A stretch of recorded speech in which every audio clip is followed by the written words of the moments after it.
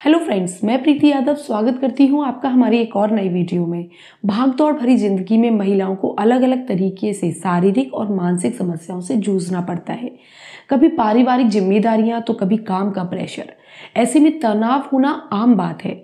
और कई मामलों में इन तनाव का असर प्रेगनेंसी में भी देखने को मिलता है।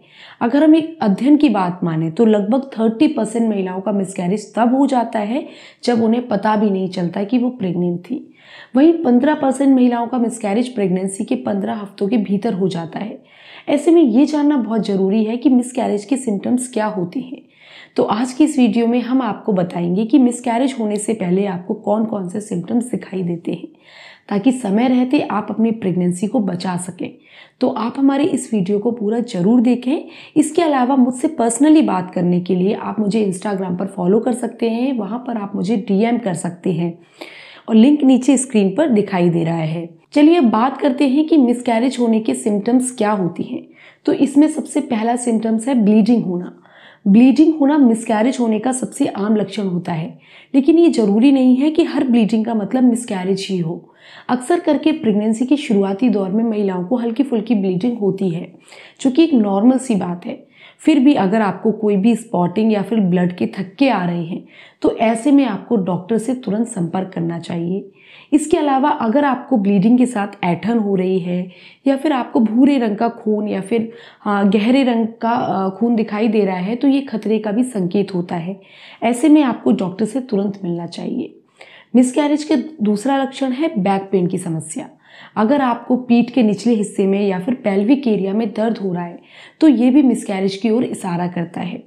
कई बार प्रेग्नेंट महिला को ये दर्द ऐसे भी हो जाता है, लेकिन अगर आपको ये दर्द लगातार हो रहा है और बहुत तेज हो रहा है, इतना तेज हो रहा है कि आपके लिए इसे सहना मुश्किल हो रहा है तो आप तुरंत डॉक्टर की सलाह लें। कई बार इस दर्द के साथ साथ आपको ब्लीडिंग भी हो सकती है।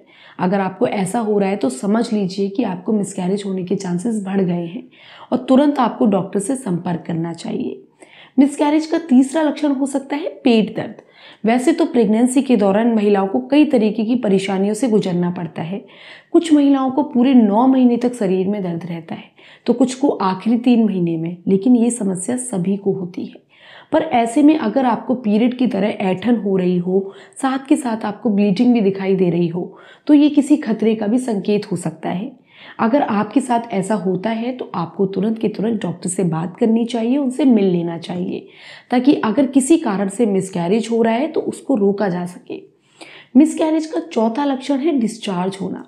प्रेगनेंसी में वाइट डिस्चार्ज होना एक नॉर्मल सी बात है, लेकिन किसी कारण से अगर ये बहुत ज़्यादा होने लगे, या फिर इसमें से गंध आने लगे तो ये एक इन्फेक्शन की तरफ़ संकेत करता है। इसके अलावा अगर आपके प्राइवेट पार्ट में या फिर पेल्विक एरिया के आसपास का जो एरिया है, उसमें प्रेशर महसूस होने लगे तो इसमें घबराने वाली कोई बात नहीं है, लेकिन अगर ये दबाव हद से ज़्यादा महसूस होने लगे तो इसका मतलब ये होता है कि आपकी गर्भाशय ग्रीवा कमज़ोर हो रही है। ऐसे में मिसकैरेज होने के चांसेस बढ़ जाते हैं। तो अगर आपको भी हद से ज़्यादा दबाव महसूस हो रहा है, अपने डॉक्टर से ज़रूर बात करें।